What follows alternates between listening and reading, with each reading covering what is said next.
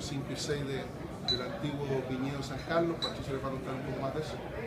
Así que fue bastante fácil, digamos, tomar la decisión respecto de cuál iba a ser la variedad que iba a sustentar este, este vino emblemático de la, de la viña.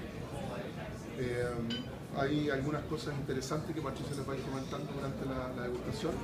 Yo solo espero que la disfruten mucho, espero que además eh, seguir contando con el tremendo apoyo que hemos contado de todos ustedes durante todos estos años eh, que junto con Hannover y, y, de forma muy especial gracias a ellos hemos logrado construir una, buena distribución en Brasil, creo que una buena imagen de, marca.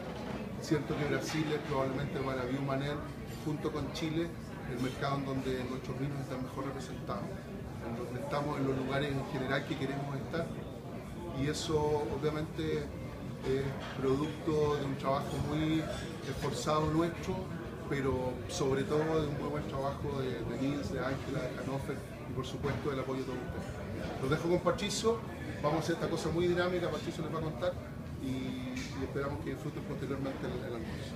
Gracias. Bueno, eh, bienvenido nuevamente. Eh, les cuento un poquito la dinámica que vamos a, tener con esta vertical. Ustedes me imagino que lo han escuchado, en realidad todos ustedes lo han escuchado, que se habla mucho de que en Chile las cosechas impares son las mejores. Si bien eh, puede que eso sea un mito, en el sentido de que no existe una explicación de por qué las cosechas impares son mejores que las pares. Eh, en general es una tendencia que, se ha marcado en la década del 90 y del 2000. Si bien hay algunas excepciones, como el 96, el 2004, eh, creemos que esa, ese, ese mito pienso que a partir del 2010 empieza a cambiar. Ya el 2010 es una, es una gran cosecha, el 2012, si bien fue una cosecha más, más cálida, también hay, hay vinos muy buenos.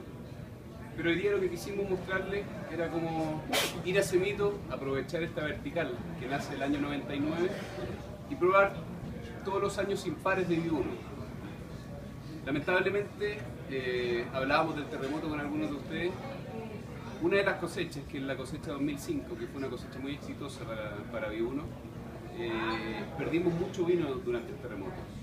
Y las pocas botellas que se salvaron, las tomamos.